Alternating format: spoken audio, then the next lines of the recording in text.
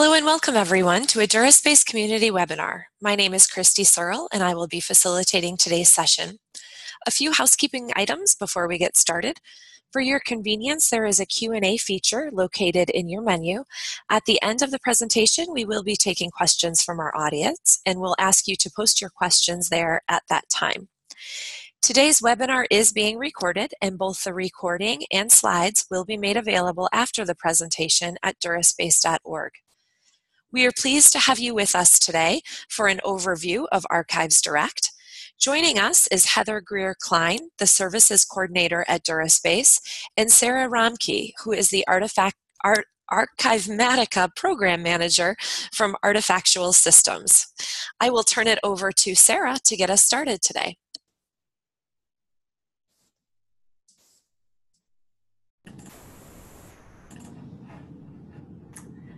Okay, um, thank you, Christy. You can hear me? Yes, I can. Great, thank you. Uh, thanks so much for joining us. Um, we're really pleased to uh, give you uh, an overview of Archives Direct today. Um, so uh, this will be the agenda that we'll uh, work from today. So um, first we're going to talk about just the very basics. What is Archives Direct and what is Archivematica and what is DuraCloud, the two, two platforms that are sort of supported by Archives Direct um, Archives Direct and how it can work for you, what kinds of problems you might be trying to solve that Archives Direct might address for you. We'll do a uh, workflow walkthrough uh, where we talk about what the, the workflow looks like um, in the Archives Direct uh, environment. And um, then i am going to hand it over to Heather to talk about uh, the world of DuraSpace hosted services. Sometimes there's some questions about the relationship between them and what the differences are and so on. And uh, then we'll have time, lots of time, I think, for questions and answers. So what is Archives Direct? Archives Direct is a hosted and managed version of Archivematica using DuraCloud as backend storage. And in the next slides, I'm going to talk more specifically about what is Archivematica and what is DuraCloud in case you're not familiar with either of those, those platforms. Um, the service was launched in April 2015. It is uh, managed by DuraSpace. So if you uh, subscribe to the service, your contract is with uh, DuraSpace. So that may be a, an organization that you're already familiar with, that maybe you have other um, contacts there uh, and using other services as well. And the support and training and consulting comes from us here at Artefactual Systems. So um, basically our, our users of Archives Director are sort of assigned an archivist from our team here at Artefactual Systems. And uh, either uh, that person or other members of our team uh, help you with all of the technical support and, and training and so on that you need. It's sort of one of the benefits of using a hosted service is that um, you don't have to worry about things like uh, you know troubleshooting or upgrades and so on. All of that uh, technical support is uh, provided with the subscription. And what it really provides for you is standards-based digital preservation packages in secure long-term storage at its core. There's a lot of different workflows that you can enact with Archives Direct in different ways that you can um, different ways that you can use the service. But at the end of the day, what you're if if this is what you really need, if you feel you need to, to be performing digital preservation and you want to be creating standards-based packages and putting them in secure long-term storage, then Archives Direct might be a good solution for you. So what is Archivematica? Archivematica is the front end of Archives Direct, and I'll talk more about that in a couple of minutes. But what Archivematica is, um, whether inside the Archives Direct environment or outside, it is a web and standards-based open source application which allows your institution to preserve long-term access to trustworthy, authentic, and reliable digital content. So Archivematica is used primarily to create um, OAIS-aligned archival information packages. So if you're familiar with the Open Archival Information Systems reference model, then you're familiar with APE, SIPs, and DIPs. and Archivematica, its, its core functionality is to take the content that you're trying to preserve and package it into AIPs. And it does this by performing digital preservation actions along the way. So things like virus scanning, file format identification, characterization, validation, and normalization, and recording all of the results of these actions in a very standardized way. and I'll talk more about that during, during these slides today. You also optionally can create dissemination information packages or DIPs to populate access systems and the access systems that we have workflows that work between Archivematica and Archive and um, uh, Archivematica uh, and these access systems include ArchivesSpace, um, Atom, and Content DM. Um, Archivematica is supported and maintained by Artefactual Systems. So uh, it's open source, but Artefactual Systems is the business that maintains the code and provides a large amount of the, the maintenance and support, but it does have a large community of contributors, and that includes um, uh, a, um, a, number of different vendors who supply uh, Archivematica services um, in various countries. It includes uh, users of Archivematica who contribute ideas and uh, bug reports and things like that, and also some community developers who contribute code to the project as well. Um, a question that we often get is, uh, what is the difference between Archivematica if you install it um, on your own versus Archivematica if it's installed for you through Archives Direct? And the answer is no difference at all. It is the same piece of software. So if you've been evaluating Archivematica and you're wondering if it will function the same way within the Archives Direct environment, the answer is yes. So what is DuraCloud? DuraCloud is the backend of Archives Direct, and uh, again, I'll talk more about that in a minute. But DuraCloud is an open source hosted preservation storage service that makes it easy to control where and how your organization preserves content in the cloud. DuraCloud enables your institution to store content with expert cloud storage providers while adding lightweight features that enable digital preservation, data access, and data sharing. So it's really value added storage as compared to just choosing uh, to store in a cloud based service like Amazon like on your own. Um, DuraCloud offers you um, health checks and fixity checking and an interface to um, better understand the scope of your content. It's really built for digital preservationists, so it's a, a great back-end system to Archivematica. If you're familiar with Archivematica at all, you may know that Archivematica doesn't provide the storage in and of itself. It connects you to whatever storage it is that you're trying to use, and DuraCloud is a great option to work with um, with uh, with Archivematica, like peanut butter and jam. Uh, so Archives Direct and you. So what kinds of things might you be hoping for if you're interested in the Archives Direct service? So Archives Direct offers a, a really quick startup. If you're ready to uh, like sign up for the service, we can get you up and running really, really fast. It's all hosted and web-based, so you don't have to perform any installation of um, Oh, I'm just seeing that somebody says that they can't see the slides. Is that still the case? Have we um, have we addressed that? Can you see the slides, Christy? I can see the slides. Okay.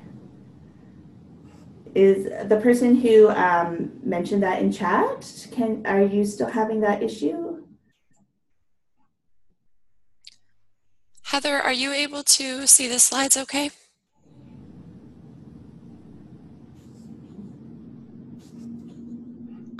I can, Christy. Um, I'm wondering if maybe the person who has the issue might want to make sure that you're in full screen mode. Okay, give that a try if you um, if you haven't already, and hopefully that resolves it. Oh, she says she's she's in full screen mode, tried all other views, and it's still there. Well, we'll share the slides. Uh, we can share the slides with you directly afterwards. Sorry yes. about that. Yeah, sorry. I'm so sorry. Um, I can't think of any other uh, like configuration for me to change on my end. And uh, some other people are saying that they can see the slides okay. So hopefully it's not affecting too many people. Sorry about that. I'll try to be as descriptive as I can. sorry about the big uh, big apparently it's a big box that just says my name so that's not very helpful to be looking at. Sorry about that. Um, okay so as i was saying um, archives direct is, is all hosted and web-based. You don't have to install anything on your end so um, that is a uh, bonus for in quite a few environments. Um, we often hear from um, from IT departments that they're they're looking for hosted solutions because they they are no longer interested in in um, maintaining software on premise. Uh, uh, a lot of IT is, is moving towards hosted software as a service base. So that's really what Archives Direct is. The only thing that you may need to have uh, locally would be an SFTP client, uh, which most people have, something like FileZilla or CyberDuck if you're using Macs. Um, most people have that um, by um, uh, by default on their on their desktop, so that's not usually an issue. Um, Archives Direct both uh, so Archivematica uses open standards for all of the digital preservation work that it does. It stores your AIPs in bags and captures the digital preservation metadata as PREMIS and mets. Um, th these are very open, widely understood, and widely adopted standards, and we think that that's pretty much your best bet for, for long-term digital preservation to, to capture your packages and your metadata in an open way that's, that's widely adopted and widely understood. You have complete control over your content, obviously. You can log in at any time and, um, and get to it, download it, and so on. Um, it's content agnostic, so you can put any kind of digital content through Archivematica and store it in DuraCloud what are the actions that Archivematica is able to take with it may vary depending on the type of content that you're um, that you're preserving, but uh, um, at the very least, you can do um, bit level preservation, if not enhanced preservation on any type of content. Um, by using Archives Direct, you become really part of this open source community and you're using open source software if that's something that's important to you.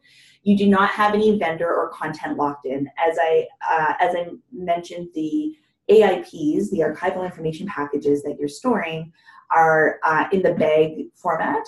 If you needed to remove them from uh, from the storage from DuraCloud because you want to go with another another system or you uh, just want to preserve your your content elsewhere, you can absolutely do that, and it's easy to do, and the um, the content is able to be understood by other systems because it's just a bag. It's not um, a complex or uh, proprietary format at all. Um, and there's quite a few configurations to meet your needs or your processes or your workflows or your content. Um, there's quite a few configuration options within um, Archivematica for dealing with different kinds of content. So you have some decisions that you get to make, like how do you want to deal with um, zipped packages or disk images, or how do you want to deal with certain kinds of content. Um, there's a lot of configuration that you can do, and part of the support and training is that we help you understand what your options are and talk you through the, uh, the workflows that you may need to, to um, perform. So the front end of, Archi of Archives Direct is uh, Archivematica. And what Archivematica provides is configurable OAIS-based workflows. So if you've used the uh, Archivematica before, given it maybe a trial run, then you'll see that it's, it's kind of visually very based on the Open Archival Information System reference model. Um, Archivematica performs preservation microservices, and as I was just mentioning, many of these are configurable based on file format information. So one of the first things that Archivematica does when it receives new content is identifies the file format, and then it, it will key off of that a bunch of preservation actions after that. So it, when it encounters um, an audiovisual file, for example, it uses certain tools to do things like characterization and metadata extraction and normalization and so on. But you get to configure those if you want to. You can either use it using the defaults upon installation or you can do configuration on your own. Uh, normalization is um, Archivematica's primary way of uh, preserving file formats, of addressing file format preservation for the long term. And again, this is configurable by you if you so choose. You can choose not to normalize if you are dealing with content that you feel is in a file format that needs no normalization. So for example, if you're storing TIFF files, you probably don't really have a need to normalize that content. But if you're storing other types of files that you choose to normalize into either uh, formats for preservation or for access, there's configurations that you can do to, to, uh, to do that on many file formats. Um, and it's, um, as I've already mentioned, very standards compliant. So if you're concerned with um, making sure that you're capturing your digital preservation efforts in a standard compliant way so that your, um, your packages can be accessed in the future by other systems and using um, uh, standards that are open. We use PREMIS and METS to capture the, the digital preservation um, actions and all of the, the characterization of the files that, that we're able to get. And uh, we use BagIt or bags as the, um, the way of packaging up the, uh, the AIPs. Uh, the back end is DuraCloud, and DuraCloud is offering you replicated storage in two geographically dispersed locations. Um, integrity checking services, so it regularly does Fixity checks just on its own. You don't have to prompt it to do so, and you can check the reports to make sure that everything is okay. And you can download your content at, at any time. So um, in terms of if you're wondering about like how much does this cost? This is the, the basic pricing. So um, by our sort of standard offerings are, are two different packages. You can do a digital preservation assessment uh, for a three month pilot to basically um, get your feet wet and see if the service really works for you without making a huge financial investment. And it comes with all of the training and support and consulting that you need to, um, to be successful at that. If you're ready to, if you're like, yep, this is good for us, this is what we want to do, um, the standard offering is um, 10000 a year. And that includes one installation of Archives Direct, so one like one Archivematica pipeline connecting to one uh, DuraCloud um, storage space um, uh, which can be configured in different ways. Um, and that's one terabyte, but if you need extra storage, that's available too. And again, all of the training, consulting, and support that you need to be successful. We want to see you uh, perform your digital preservation in a way that is working for you. So we, we want to give you the support that you need. And if you're working at like a bigger kind of scale or you have different kinds of needs or you want to include an access system, like you'd like to have um, installation of Atom, for example, as part of your um, as part of your Archives Direct service, then we can do custom quotes on that kind of thing. So now I'm going to do a, a, a, walkthrough of the workflow. So like what does it look like to actually use the system? Um, so if you're familiar with Archivematica at all, then, then this will look quite familiar. Um, and if you're not, this will give you kind of a taste of how it works. I'm just using screenshots. I'm not doing a live demo, um, but hopefully this will answer some of your questions. So the first step is to make the material available to the installation of Archivematica to process to begin with. So typically what we do is we set up an SFTP space, and most uh, folks have no problem using that. Um, SFTP is really widely supported and it's probably something that you have installed on your work desktop.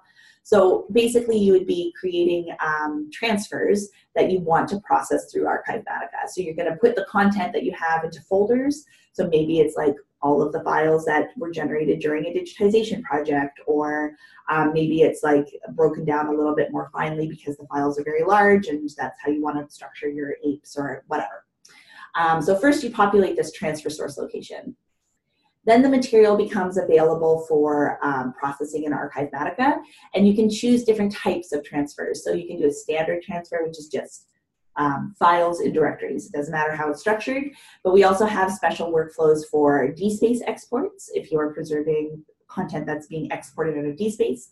Um, if you have uh, disk images, then those can be, uh, there's a special workflow for those as well.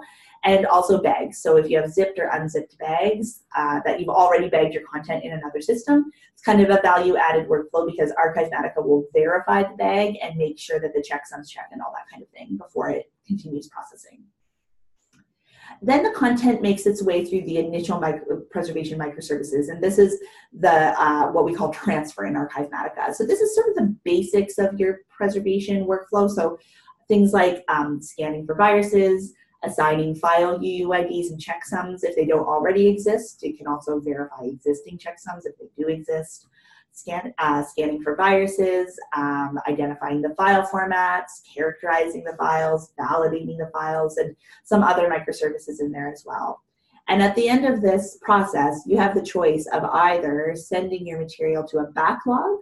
Um, so that's one option for you. You can send it to a backlog and uh, do continue the processing in the future. Using the backlog functionality also allows you to analyze and view and arrange the content through this tab that's called the appraisal tab. Um, so there's different workflows that you can do here. You can bring up a list of all of the files.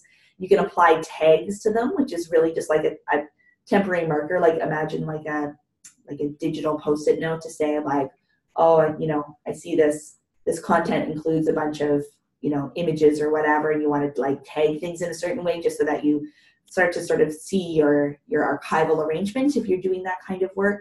Um, this part of the workflow, this is optional and it's rather manual, but it's sort of intended for um, born digital workflows where you might have a lot of analysis to do and you might be putting content through like a disk image that you haven't really had an opportunity to explore outside of the environment. So imagine you've received material from a donor and you're putting it through the system um, but you want to know kind of what you have before you finalize what you know you may want to not keep it all for example so that's one option the other option um, is to just uh, send the material directly to the ingest tab where the preservation microservices continue. So whether or not you've used this like backlog appraisal functionality in between, or you can skip right from transfer to ingest. And this that skipping is um, sometimes relevant for any workflow, but it would be particularly relevant, I think, for workflows where you're you already know what you're preserving. So maybe it's a digitized content, maybe it's um, exports from a, uh, an institutional repository like DSpace.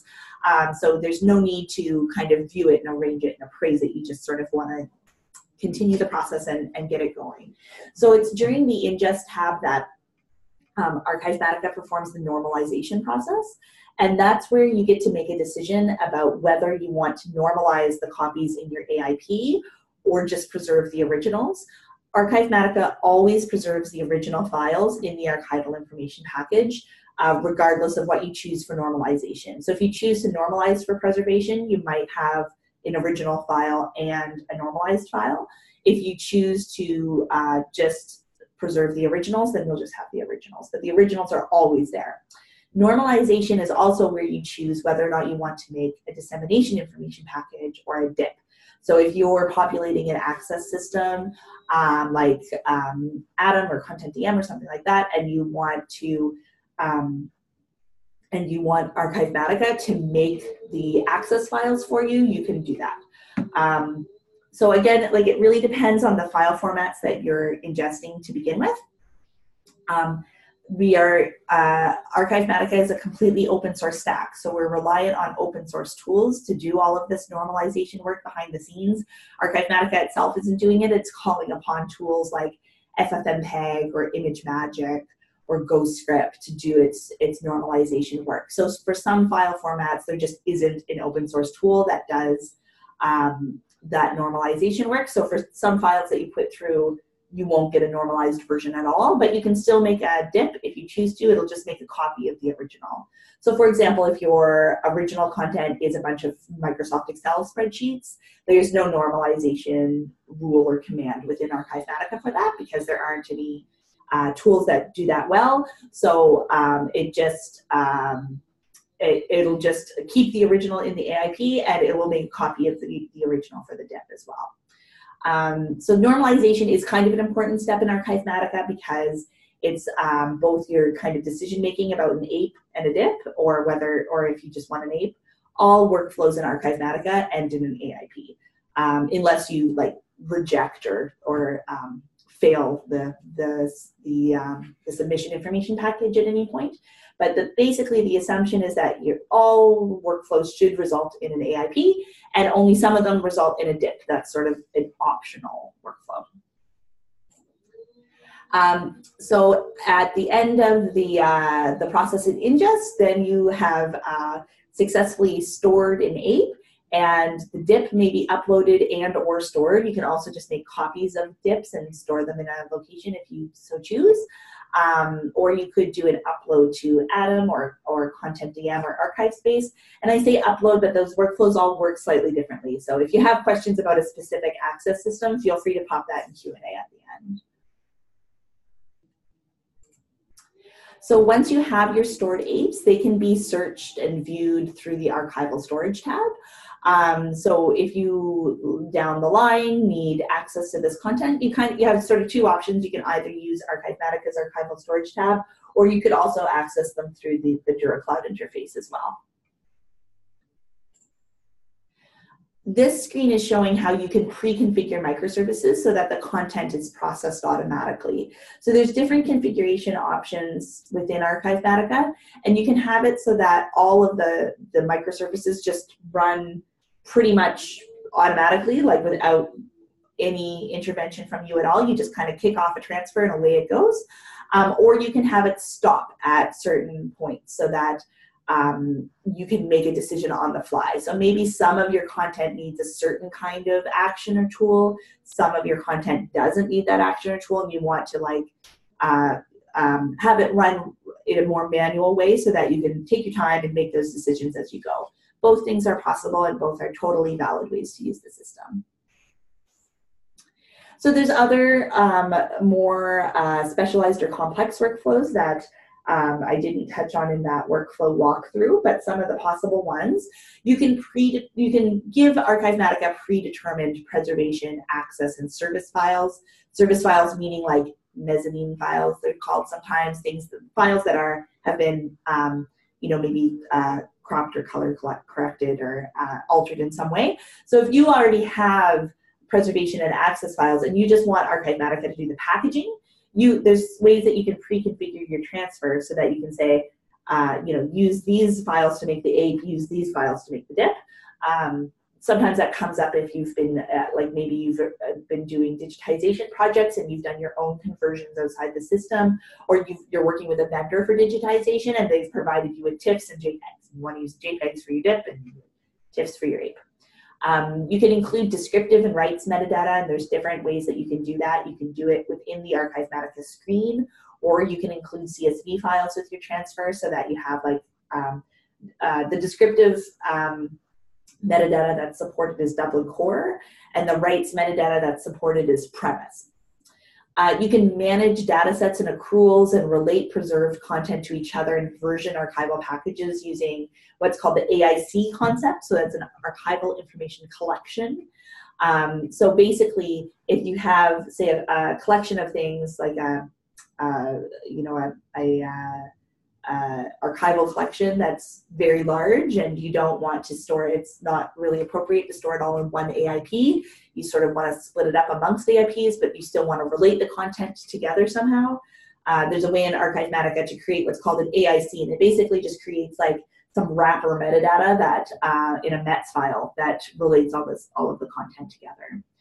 Um, while you're doing processing, you can view the, the results of normalization uh, through reports and by downloading the files uh, within your browser. So if you are unsure of what the results of normalization are going to look like, if you're not familiar with the type of files that you've ingested into the system, then you can take a pause there and just kind of see the results before you continue the process on and finalize your AIP.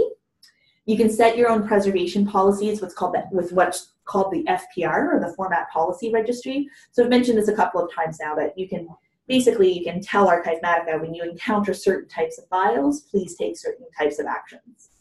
Um, a relatively recent development, you can check media-specific policies using a tool called MediaConch.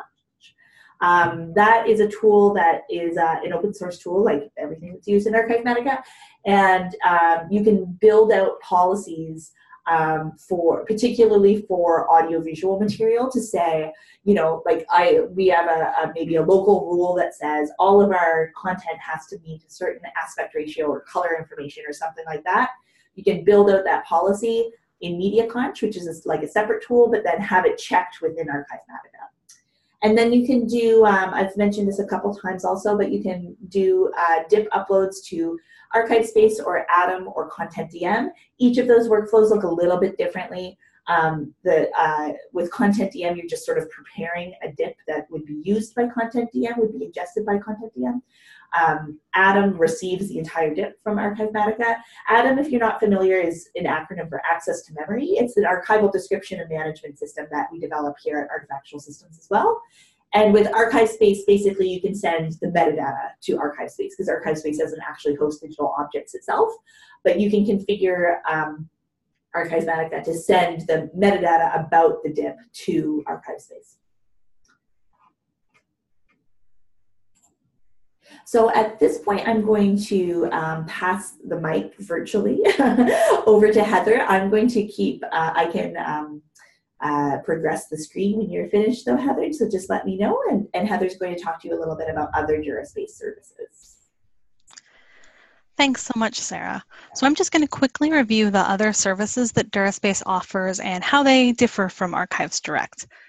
So the backbone of all the DuraSpace hosted services is DuraCloud, which Sarah mentioned earlier. So DuraCloud's an open source hosted digital preservation service. So what that means is it lets you store content with cloud storage providers, so like Amazon Web Services, but adds features like regular bit integrity health reports and an easy upload tool and annual billing. So DuraCloud can store any type of file, and it integrates not only with Archivematica, but with DSpace, with Fedora-based systems, and with the Internet Archive's Archive-It tool. There's several storage provider options for DuraCloud, including a TRAC-certified Chronopolis Dark Archive network. That's a really economical option if you have items that really need long-term dark storage. And DuraCloud is accessible at any stage of your digital preservation planning. So if you wanted to subscribe to just one terabyte of storage, that would be um, starting at under $2,000 a year. And then there's special pricing if you're going to store a lot. So if you're going to store 20 or more terabytes in DuraCloud. So DuraCloud provides the cloud preservation storage for those AIPs and those DIPs that you create in Archives Direct but it doesn't provide all of that standards-based preservation services, so all of the things that Sarah reviewed. Um, that comes with the Archivematica piece of Archives Direct. But if you just need preservation storage, DuraCloud's also available as a standalone um, storage option. So the other service I wanted to highlight is DSpace Direct. DSpace Direct is a very lightweight hosted DSpace repository. So DSpace Direct is the right choice if what you're looking for is a simple way to organize content and to make your content accessible via a public-facing interface. So DSpace Direct also does not include any standards-based processing like what you get from Archives Direct, but it does include automatic backup of all your repository content to DuraCloud. Um, the other nice feature with DSpace Direct for a hosted DSpace repository is, while it's a very simple and non-custom and straightforward version of DSpace. When you're ready to move to a more custom kind of repository, it's very easy to migrate all of your content to a more custom hosted provider or to your local repository environment. So that's sort of the, the differences. The Archives Direct is really focused on those preservation microservices DuraCloud is just the preservation storage layer, and then DSpace Direct is for when you want to make um, a, make a repository available, make that content available uh, in an easy and simple way. So those are the services that we offer through DuraSpace. Um, we're really excited to be part partnering with Artefactual Systems for Archives Direct, because as you heard from Sarah, they are really the experts in that tool. Um, we can advance the slide and I'm going to hand things back to Christy because we're going to move into the Q&A portion now of the webinar. All right. Well, I would like to thank both of you for your presentation today. And now it is the, the turn of our, our attendees. What questions do you have for our speakers, um, whether it be something on our, in Archives Direct or a, a DuraCloud question? Feel free to use the Q&A window located at the bottom of your menu and you can go ahead and type in your question. And while folks are typing in their questions, I'll just mention that DuraSpace Services will have an exhibit table at the DLF Forum and NDSA's Digital Preservation 2018, which is coming up uh, October 15th through 18th in Las Vegas. So if you or anyone from your institution will be attending, please stop by and say hello. Um, and I'd love to talk to you more about Archives Direct or other DuraSpace services. Thanks, Heather. We have our first question. Um, can you tell me where the DuraSpace servers are located geographically? Sure, absolutely. So DuraSpace doesn't have any servers. Well, we use DuraCloud to connect with expert cloud storage providers. Um, and there you have a lot of different options depending on, on what you need. But most of the time, and, and what comes standard with Archives Direct, is Amazon S3 storage. Which is um, we use the Virginia-based storage provider um, version of AWS S3, and you also have a secondary backup to Amazon Glacier Storage. That's the secondary provider. Um, Amazon does not make it publicly known. We know that there are at least three copies and that they are geographically distributed in the United States, but they don't uh, make it known exactly where. Uh, but we do know that it's in the eastern United States. Um, another option for storage is the Chronopolis Dark Archive.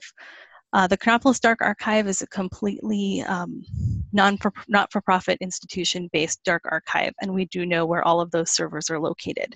So they're uh, um, located across the US. So there's one at UC San Diego, uh, one in Colorado, one in Texas, and one in Maryland. So for that option, we do know exactly where those servers are located. Okay, another question for you, Heather. Does DuraCloud have a file size limit for uploads? That's a great question. Um, DuraCloud has to chunk files over um, one gig, so they'll be chunked and then stitched back together to move into um, into storage. But there is no limit on on file size. So if you had very large videos, uh, they would end up being chunked and stitched, uh, but they would still go through a bit integrity check to ensure that they were stitched on the other side when they reach cloud storage. But there there's no limit um, on the size of files, and there's no limit on how many terabytes you can put in storage. Excellent. Have another question. I am interested in how scalable this solution is. Do you already have any large clients? Um, for example, this person is from a government agency.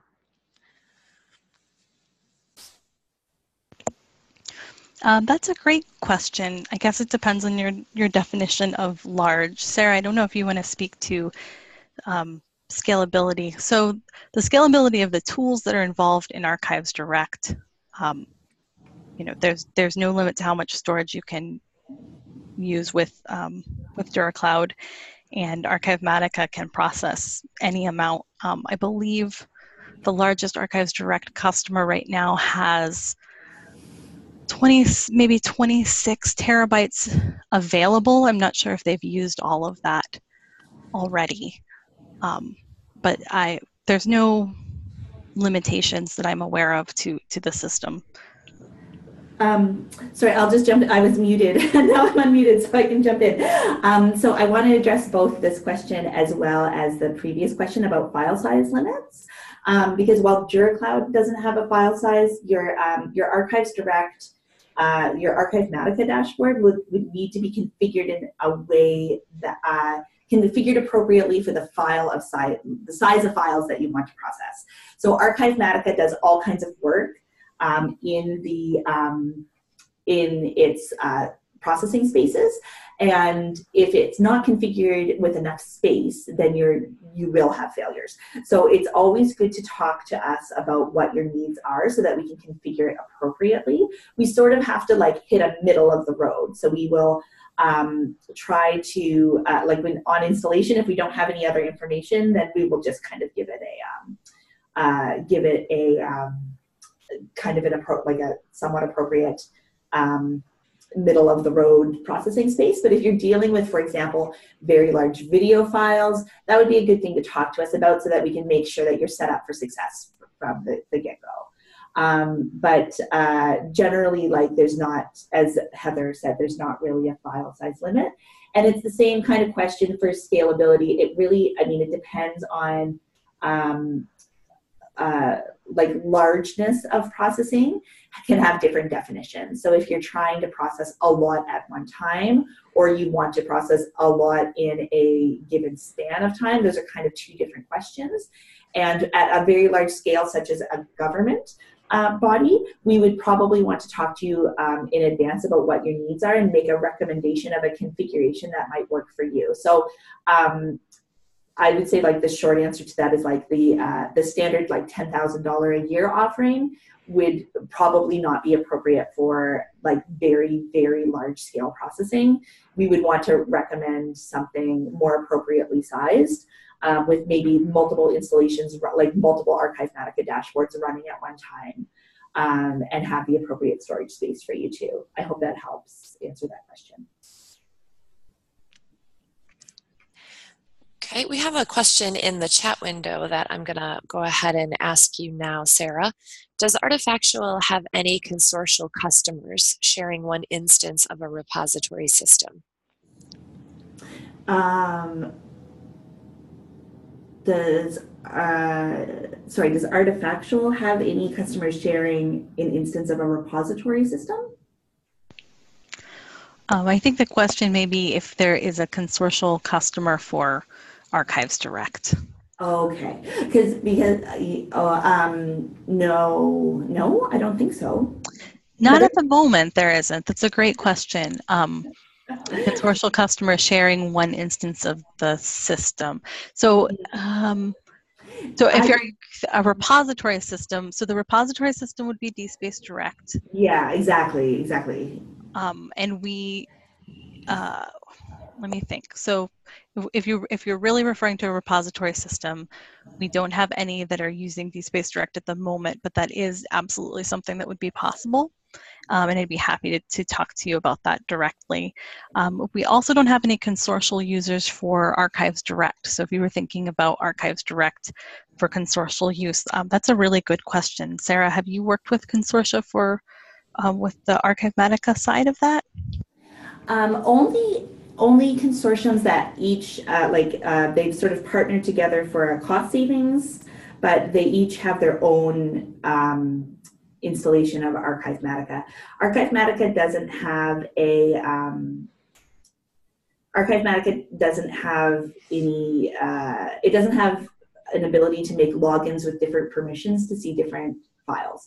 So anybody with a login to your Archivematica dashboard, which should only be people who work at your um, at your institution um, would be able to access any AIPs that have been stored, um, at least in, in Archivematica's current um, installation. Um, so that may be an issue for you if you're concerned about like privacy concerns or something like that. That's the, kind of the biggest issue that I can think of with consortial use. Um, usually when we've worked with consortiums, it's more of a uh, like a partnering together to get like kind of a bulk rate and to um, to negotiate with us a, a, a good um, rate for a hosted system for each institution to have their own hosted system. Thank you both. Is it possible to link with secure storage in Canada? Can I jump on this one? Um, so the, uh, um, I don't believe there. I don't believe it's possible for DuraCloud to use storage in Canada. Is that right, Heather? We're actually exploring that possibility right now. Okay. Um, but at, at the moment it isn't, but it's something that may be coming down the line very soon. But I know that there's you you you would also be aware of other options in Canada, Sarah. Yeah, so we um, for Canadians on the call, and I know there's a couple. Um, there's a service through the Canadian Council of Archives. The uh, it's called the Archives Canada Digital Preservation Service, and that would currently, uh, at least at this moment in time, be our recommendation for a hosted Archivematica service in Canada because the storage is in Canada. That's a legal requirement for public bodies in Canada for anybody on the call who's wondering why Canadians care about the storage location. And is it possible to schedule archives direct submissions for a future time? So, for example, overnight? Um, we could work with we could work with clients on something like this. I think I would need to consult with our support team here, but I think like we there's a um, there's a suite of tools outside of of Archivematica called the um, automation tools. It's not um, included by standard in your Archives Direct um, subscription, but it's the kind of thing that like we could um, discuss a custom quote to add on, and then there could be like a cron job for um, for starting transfers up um, automatically. Uh, the only by with a standard archives direct installation with like no other kind of like additional tooling around it, my recommendation would be to start your transfer at the end of the day, and then it will run overnight. kind of a uh, manu- a bit of a manual and a bit of a, a lightweight and simple solution, but one that might work. And I'll just jump in here um, to add, Sarah, Sarah mentioned that, you know, a standard Archives Direct subscription.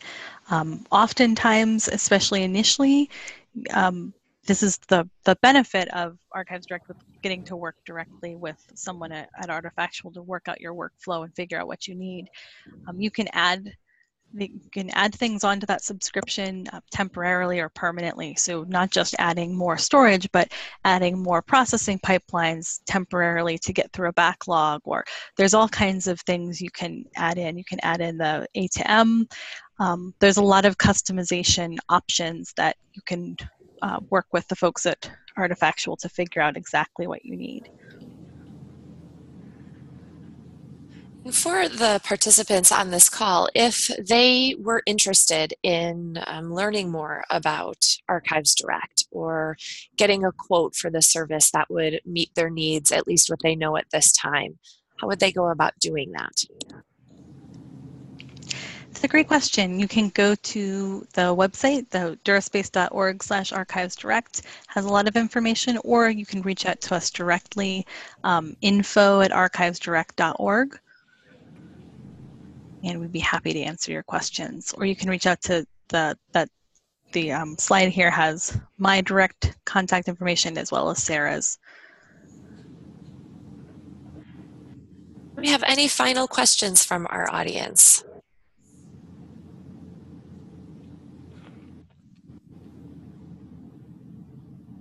Heather, Sarah, do you have any last words of wisdoms, wis words of wisdom to share? Uh, I don't. Um, but please feel free to reach out with any questions. I know sometimes it takes a really long time for institutions to implement a hosted service. There's a lot of planning, there's a lot of budgeting, there's a lot that goes into it.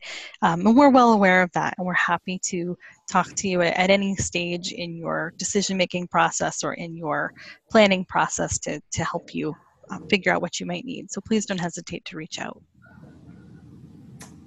and I would just echo that that we're always really happy to talk and um, and to kind of start the process with you, even if you're very unsure of, of what your long term plans are. We're absolutely happy to uh, to answer your questions and to to see if it's a good service, a good fit for what you need to do. All right. Well, I would like to thank everybody for being with us today, and a very special thanks on behalf of DuraSpace to both Sarah and Heather for sharing their knowledge with all of us. This concludes our session today. As I mentioned earlier, the web, I'm sorry, the webinar and presentation slides will be available at Duras, duraspace.org, and you will be sent an email with the links to that um, by the end of the day tomorrow. So thanks again once for once again for being here, and please enjoy the rest of your day.